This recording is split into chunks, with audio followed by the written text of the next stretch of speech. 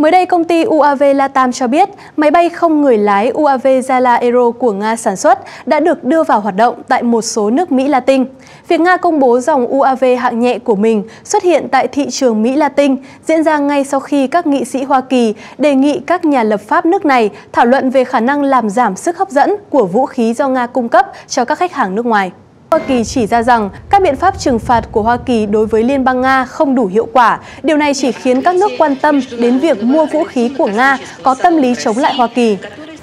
Không chỉ Mỹ Latin, Nga đã và đang tiến vào khu vực Trung Đông, nơi vốn là thị trường tiềm năng của Hoa Kỳ. Nga đã tiến vào các thị trường vũ khí do Hoa Kỳ bỏ trống và tăng cường bán cho các khách hàng truyền thống của Washington.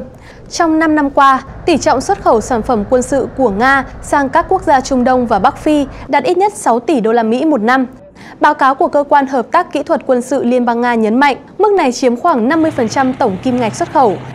Nga đang ngày càng gia tăng doanh thu bán vũ khí và ảnh hưởng địa chính trị với các khách hàng như Ai Cập và Thổ Nhĩ Kỳ. Thực tế, việc hàng loạt các nước Trung Đông xếp hàng quan tâm đến các loại vũ khí của Nga, trong đó có cả đồng minh và đối tác mua vũ khí truyền thống của Hoa Kỳ, đang chứng minh thành công của Nga, không chỉ xác lập vị thế quan trọng tại khu vực địa chính trị này, mà còn tạo cơ hội cho Nga giành giật cả những thị trường vũ khí truyền thống có tầm quan trọng sống còn đối với ngành công nghiệp Hoa Kỳ.